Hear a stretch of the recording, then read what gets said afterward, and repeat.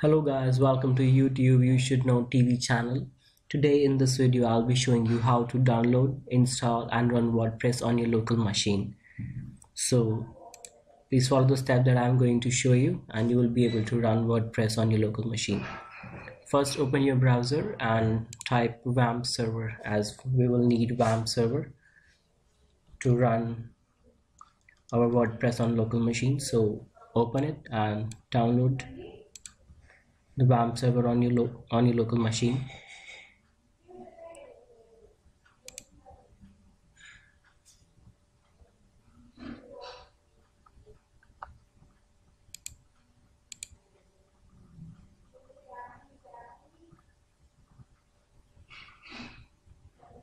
So you need to check which operating system that you are you using. So for that, what you can do is you can go to my PC and then click on properties. There you will see my system is 64 bit. You might be 32 bit as well. So please check before downloading the WAMP server and you will be ready to go. So as my system is 64 bits so I will be downloading WAMP server 64 bits.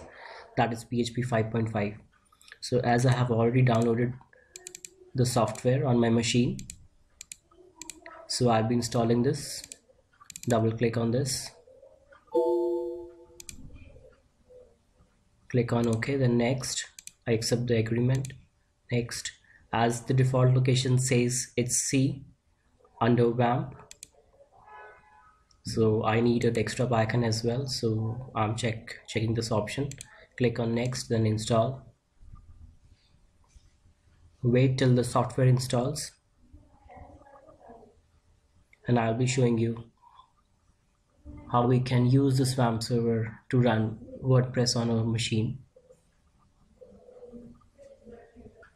I would say rather uploading your WordPress site directly on your on a global server for practicing would be a bad idea. So I would suggest you guys to first practice WordPress tips and techniques on your local machine so that you would be able to upload your website in a single go.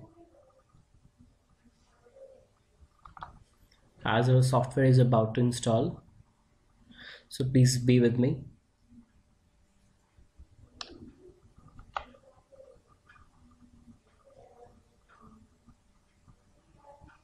so now it says please use your default browser if you want if you're not sure please click open so if as it says I need to choose my browser where I want to run WordPress on my local machine.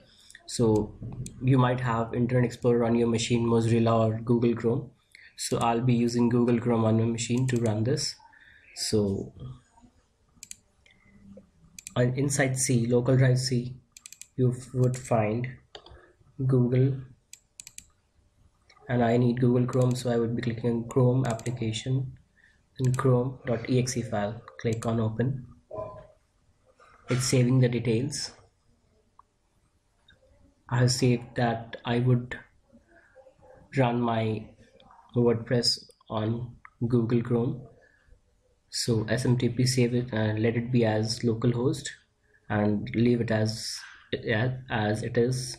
Click on next launch WAMP server 2 now. So we'll be launching the WAMP server now. Click on finish. Yes. So now you can see a log an icon over here that says WAMP server is offline. The green icon. Click on this and click on localhost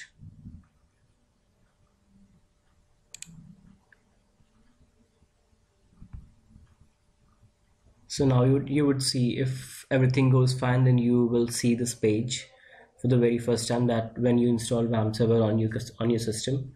So it says Apache version or this and that all the details that we will be using in later videos. So right now what I'm concerned about is I need to click on this and I will be opening my PHP my admin I so let this open and we will be creating a database over there that we will be using our in our WordPress. So now we have entered in phpMyAdmin. so now in this area we will be creating a database.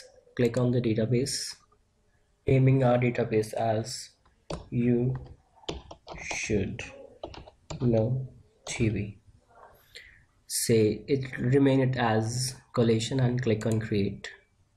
Database you should know TV has been created. Now you can see we have created our database over here. So we will be proceeding next to download WordPress that we will be using to host our website on a local server. So click on now search WordPress. We need to download the WordPress. So WordPress download click on this option. Click on this link sorry. So you would see over here that says download WordPress 4.1 and it says there are two files .zip and .tar so nothing matters as .tar is a more compressed version of so we'll be downloading .zip file that is 6.4 MB so as I have already downloaded the WordPress as well on my system now you can see that I have WordPress on my system as well as I have extracted the folder WordPress 4.0 so I'll be using this. Okay so right now we have installed our WAMP server on on the machine and we have downloaded the WordPress as well. So the next step would be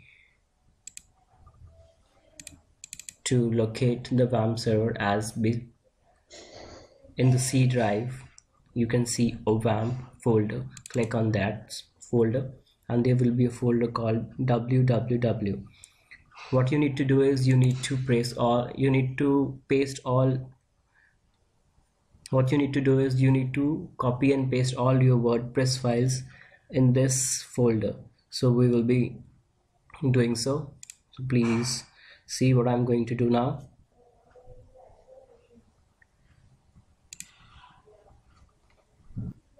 so what I'm going to do is I I'm going to copy all the files that are there is in the WordPress folder over here. So control a to copy all the files on Windows system. Now we need to copy all the files. And we will be pasting these files in our WAMP folder in C drive. You need to go into WAMP then click on www in this location you need to paste all the files that you have copied from WordPress folder. So wait till the files get copied copied.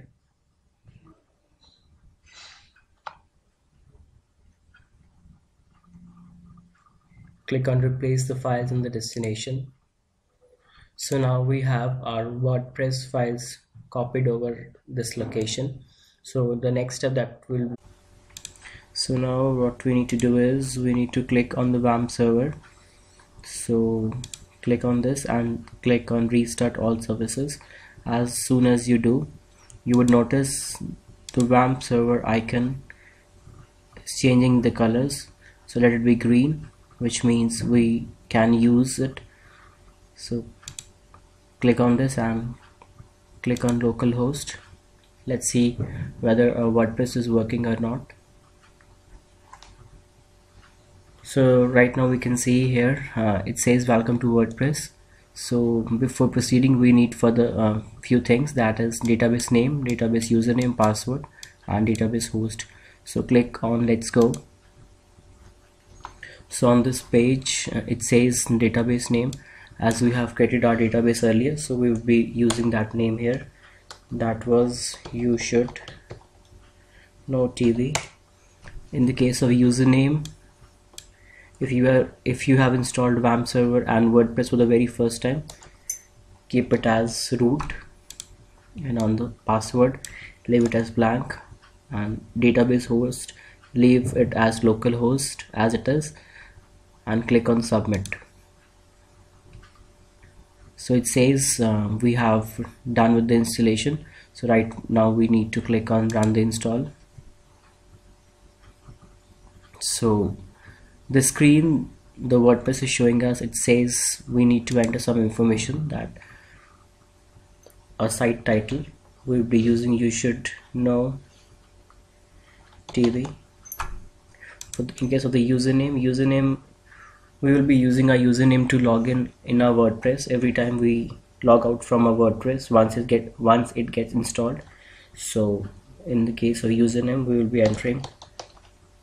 You should know TV as well. In the case of password I would suggest you please remember your password because every time you try to log in into the WordPress system you will you would require this. In case of your email ID enter your email ID over here and click on install WordPress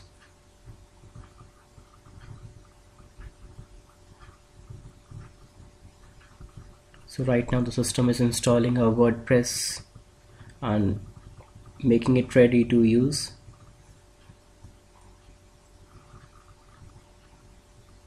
So it says WordPress has been installed and our username is this and password that we have entered in the previous step. Let's say let's see how we can log in.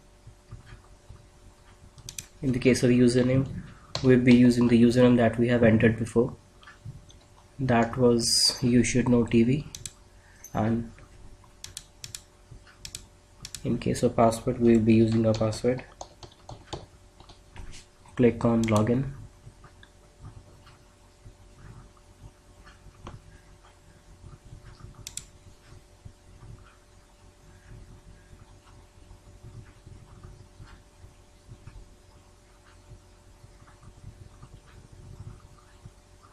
as you can see that we have entered in our WordPress admin side. So from this admin panel we will be creating a full-fledged website. So before ending this video I would like to tell you one more thing which is the most important thing. In our WordPress folder we had we have a file called wp-config.php file. This is the most important file regarding the regarding WordPress. So when we open this file we can see this. It automatically saved our database name over here. As you should know TV our username that was root. It left a password as blank localhost as dbhost so this file contains all the important information regarding our WordPress installation and these are the keys that automatically WordPress managed to manage to use in our in our wp-config file. So so I would say please subscribe my channel. So uh, in the future videos I will be showing you how to create a full-fledged word working WordPress websites so till then have fun and take care. Bye bye and please don't forget to subscribe our channel you should know TV thank you